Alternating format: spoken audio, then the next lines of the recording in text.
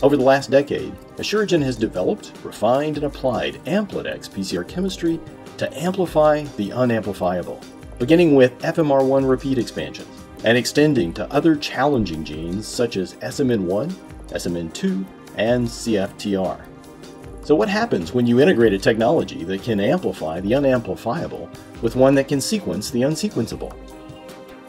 You provide a novel approach that can realize the diagnostic potential of genes and biomarkers that defy even the best current methods. And the possible applications here are as immense as the genome itself. For starters, resolving the repetitive sequences in FMR1, as well as other dark DNA regions in SMN1 and 2, CYP21A2, and Factor VIII could revolutionize carrier screening and reproductive decision making. Asuragen is excited to share our latest updates and capabilities with our partner PacBio for integrating gold standard AmplideX PCR and SMRT sequencing to create this next wave diagnostic solution. For more information, please visit asuragen.com